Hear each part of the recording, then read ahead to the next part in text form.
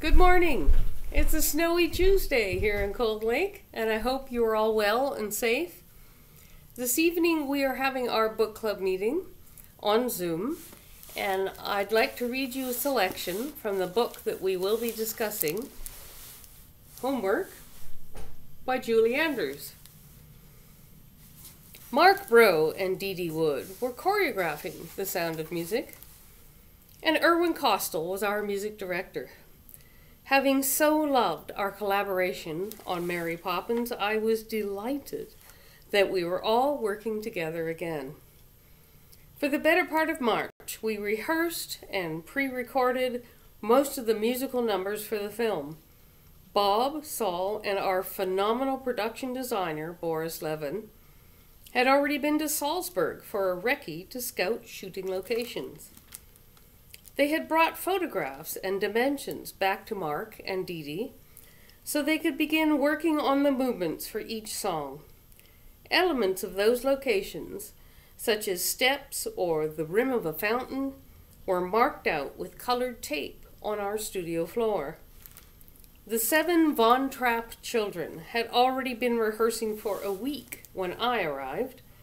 They greeted me enthusiastically and I hoped that I could live up to their expectations. They were learning the choreography, working with a dialogue coach to effect a mid Atlantic accent, absorbing the songs and harmonies, and keeping up with their schoolwork. My heart warmed to each one for different reasons. Gentle Charmian Carr, playing the eldest child, Liesl, was trying to navigate being both the teenager she had been cast as and the young adult she really was. Shy and handsome Nicholas Hammond, Friedrich, grew six inches during the shooting schedule, necessitating some creative framing when others were in a shot with him. Freckle faced Heather Menzies, Louisa, had an endearing gravitas about her. She was circumspect and shy, Huggable Duane Chase, Kurt, all boyish exuberance and dimpled charm. Beautiful Angela Cartwright, Brigitta, was the most seasoned actress of the group, with a natural ease and authenticity on camera.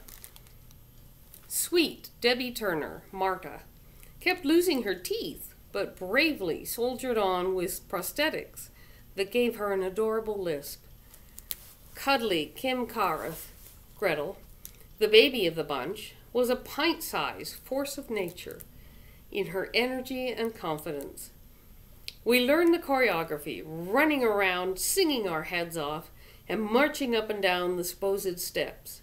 We were taken out to the back lot to practice our bike riding skills and to time our pedaling to the tempo of Do Re Mi. Pushing forward and pulling back rhythmically on certain music cues. There was so much going on those first few weeks costume fittings, hair and makeup tests, rehearsing and recording the musical numbers, not to mention getting to know the rest of the cast and crew. Dorothy Jeakins, one of the finest costume designers in Hollywood, had designed such films as Friendly Persuasion, South Pacific, and The Music Man. Her costumes for The Sound of Music were exquisite in their materials, texture, and authenticity. As I had done with Mary Poppins, I found myself absorbing the character from the outside in, sensing the nuances of Marta's personality from the images that confronted me in the mirror when I put on the nun's habit and the rough, shabby dress that even the poor didn't want. Dorothy said to me, I think once Maria gets married, she becomes more of a woman. Therefore, the soft, girlish dresses in the early part of the film gave way to more mature outfits, such as beautifully tailored suits, all of which helped me understand the evolution of Maria's character. Then there was the issue of my hair. Having cut it short during Mary Poppins to accommodate the wigs, I had kept it that way ever since. I had added a few highlights to enliven my mousy brown, but on camera the back of my head was still too dark. Bob decided that I should have more highlights, which was fine with me. Unfortunately, there was a mistake in the color processing, and I ended up with a bright orange mop. My hair had to be cut even shorter, and what was left of it was dyed pure blonde. As luck would have it, this gave me a more Austrian look.